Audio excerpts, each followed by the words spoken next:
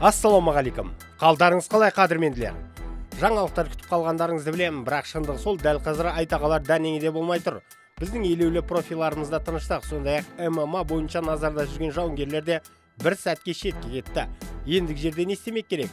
Спорт маңындағы жаңалықтарды айтайық. Соңғы күндері ең жас әлем чемпиондарымыздың бірі санжар ташкенбайдың маңында хайп көп. Ташкенбай жомарт жан екен. Біріншіліктегі тапқан қомақты қаржысын жұмсап жүр. Жұмсағанда да оңды солды сырап емес қайырымды істермен айналысуда. Ең бірінші ол өзінің әкесіне үлкен джип сыйлады. Мұнымен ол көпшіліктің ықыласына бөленді.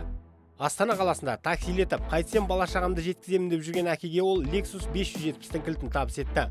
Тосын сый етіп жасаған ұлының мұндай бағалы сыйын көргенде қайран әкенің көзіне жас үйірілді. Міне еңбектің ақталғаны деп осыны айтады. Күн демей түн демей адам тасу арқылы бала шағасын асырады. Арасында әрине санжар да бар. Оның да бокстағы мансабын қолдап отыруға қаржы қажет екені белгілі. Мұны түсінген баланы айтсаңызшы санжардың жасы небәрі он тоғызда. Ол бұл байлыққа малданып мастанып кетуі мүмкін еді ғой. Бірақ бірінші ретте асқар таудай жанды қуантпақ болыпты. Өте құптарлық іс жасады әлем чемпионы. Бұдан бөлек тағы бір жүз мың долларды түрлі қайырымдылық шараларға арнаған туралы ақпарат та бар. Бірақ оны жария еткісі келмеген секілді. Жалпы ташкенттегі әлем чемпионатынан соң былғары қолғап шеберлерімізге деген сый құрмет ерекше. Өздеріңіз білетіндей төрт әлем чемпионымыз 200 мың доллардан алды. Күміс медаль алған боксшымызға 100 мың доллар берілді. Елге келгенде де спортшыларға ақшалай сый жасалынды. Федерация басшысы чемпиондарымызға қосымша 100 мың доллардан тағы берді. Күміс медаль алған дулат бекбауов 50 мың долларды қалтаға басты. Спортшылардың тұрақты мекеніндегі әкімшіліктен де сияпат аз болмағаны анық. Жеке кәсіпкерлердің қолдауын бұған қосыңыз. Үрдіс өте жақсы. Дегенмен кері әсері болмай ма деген күдік те жоқ емес. Қазақтың байығаны жақсы ғой. Алсын еңбегі сіңді бірақ бұл марапатты не үшін алып отырғанын ұмытпау керек. Алда жауапты сындар бар. Біріншіден азия ойындары. Бірақ ол лицензиялық турнирде жігіттер ұйымдастырушылар тарапынан мұндай жомарт сыйақы алмайды. Өйткені ол турнирден де IBA жасамайды. Бұл тікелей халықаралық олимпиада комитеті ұйымдастыратын турнир. Жас жігіттерде мотивация жетіңкіремей қалуы мүмкін бе? Әрине. Алтын көрсе періште де жолдан таяды деген қанатты сөз бар. Жігіттерді еркелету бір бөлек. Енді оларды бұл эйфориядан тезірек шығару керек. Әйтпесе арты біз үшін жақсы болмауы мүмкін. Ол істер аштықта жасалынады. Тоқ бала аш баламен ойнамайды деген сөздер бекерге айтылмаған.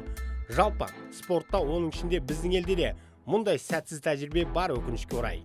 Оны айтып отыру әзірге артық шығар. Сондай ақ тағы бір мәселе. Алалау неге боксшыларға мұншама назар ауды? Неге басқа да спортшыларымызды осылай ұлықтамасқа? Күні кеше ғана оңтүстік кореяда ауыр атлетикадан азия чемпионаты өтіп 22 жасар қазақ баласы нұрғиса әділетұлы чемпион атанды. Бірақ оның жетістігі елеусіз қалды. Неге оған қолдау болмады? Боксшылардың даңқ шуағына жылынып жүргендер неге нұрғисаның жанынан табылмады? Бұл жігіт париж олимпиадасында алтын алады деген үміткерлеріміздің бірі. Керек десеңіз оның алтын алуға деген мүмкіндігі боксшылардікінен де көп. Сонда ол қаржылық көмек алу үшін тек олимпиаданы ұту керек пе? Арм рестлингшілерге неге мұндай назар жоқ?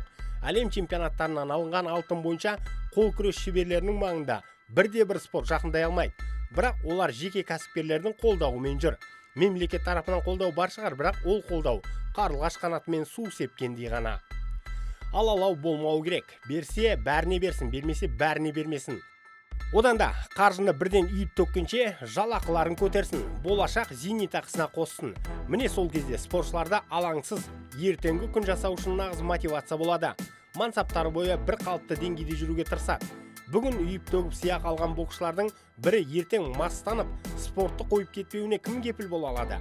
Бәрі жас тоқмейілсіп қалуы мүмкін. Сондықтан мұндай жағдайда абай болғанымыз жөн. Бейне материал ұнады ма? Онда лайк басыңыз пікір қалдырыңыз. Бұл біз үшін маңызды. Арнаға жазылып қоңыраушаны басып қойсаңыздар соңғы жаңалықтарды бірден біліп отырасыздар. Уақыт тауып тамашалағандарыңыз үшін рахмет. Қазақ батырларының жеңісті жорықтары. Молынан болсын.